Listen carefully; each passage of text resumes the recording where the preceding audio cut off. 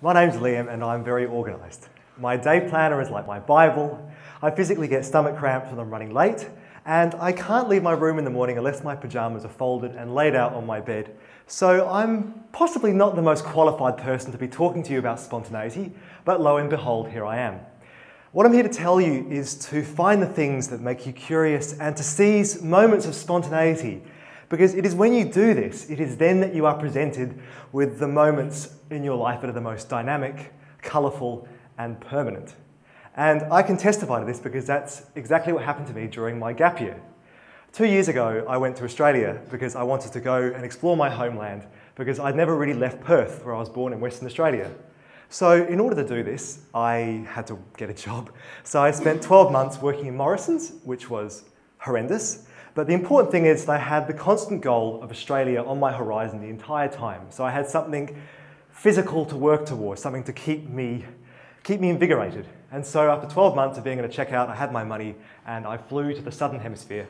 And for the first few months, I spent my time there living with my dad, my dad's mother, and her partner living in a small bungalow.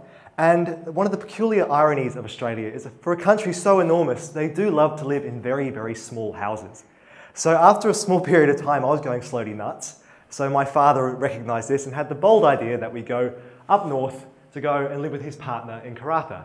So over the period of five days, Dad and I drive 1,600 kilometers up the coast to Karratha.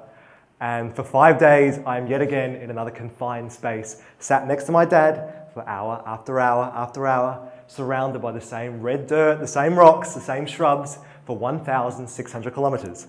We arrive in Karratha, which is a small town of 3,000 people who either work in the local mining company or are young children, and there's no one there my age. So I'm very quickly getting bored.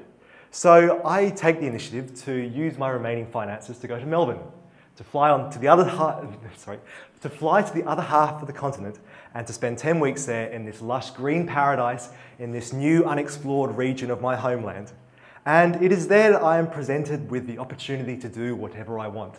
I have no deadlines, no exams, no revision, no appointment. I am absolutely free.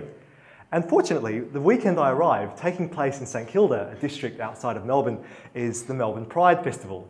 So I catch a tram and I go there, and it is this glorious procession of colour and music and energy. And the street is resplendent with rainbow banners and people in the most fabulous costumes, including one guy who was absolutely festooned with peacock feathers, just spearing out of his shoulders and his arms, and even on the back of his feet. So when he walked, they flicked up behind him. And it was glorious, and that was a really wonderful way to start my new life for the next 10 weeks.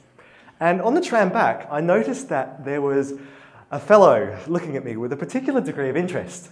And so I was also quite interested in looking at this fellow. So I thought, hmm, I should talk to him.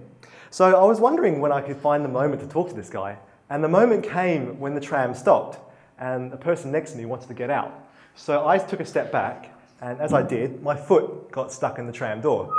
And so um, it was this moment of clumsiness that served as the facilitator to allow me to talk to this guy.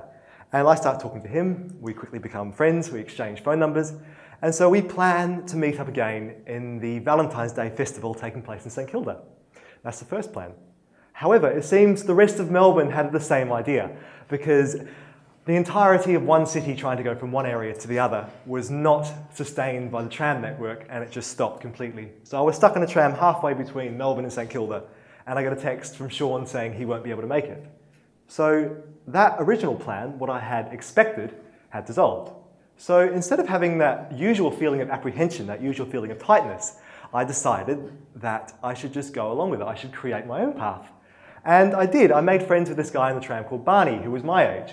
And so I chatted with him, and then we walked the remainder of the journey to the festival, and I meet his mates, we all party, we go to one of the music tents, and I'm with him for a few hours, and all is well. However, by this point, I'm not especially sober, so my awareness of time and space is somewhat inhibited.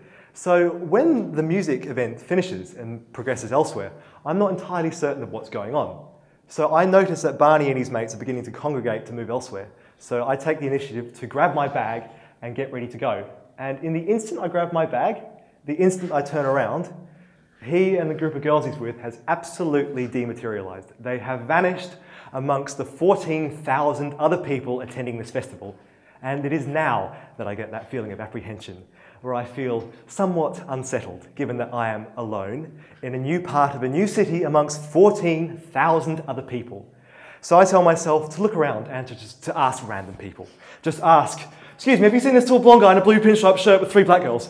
And every time I did ask that question, they would look at me with a peculiar um, expression because no, of course they hadn't. Of course they hadn't seen Barney and his three friends amongst 14,000 other people.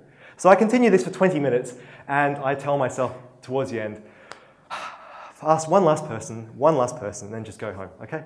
So I walk to the edge of the beach and I see this couple sitting down having a cigarette. And I ask them, Have you seen this tall blonde guy with a blue pinstripe shirt and three black girls? And he just sort of looks at me and rolls his head up and just says, That's a very specific description. No, I haven't. And so they have quite rightly recognized that the state I'm in is not of the clearest mindset. I am quite visibly agitated at being on my own. And so they invite me to sit with them. And it is when I sit with them that I realize how much I needed them, how much I needed to feel safe.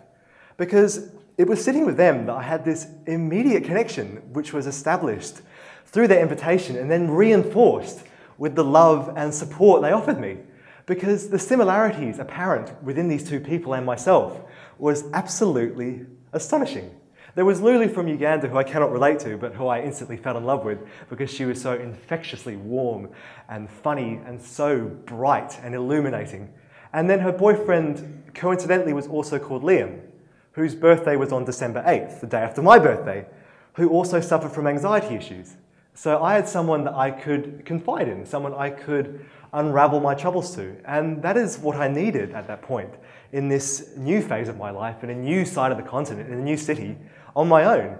And the more I spent talking to them, the more I felt the strength of our connection, the more I felt safe with these people. I hadn't realized how important it was for me to feel safe.